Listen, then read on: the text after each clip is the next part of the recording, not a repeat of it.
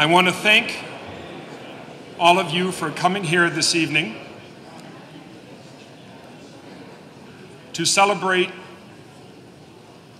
a wonderful cap to a very exciting and important two-day conference by the Club of Madrid on the club's 10th anniversary.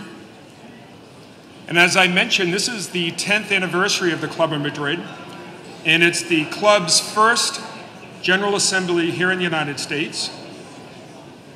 The club started in 2001, of which many of the members here were uh, participants.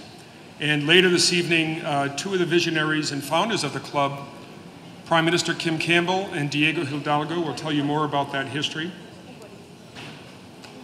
And the conference this year on digital technologies and democracy, or social media, as is commonly said, was not only a very important issue for the club to address, but it was even quite important and appropriate that it was held here in the United States, where so much of this technology and innovation and enthusiasm um, has emerged.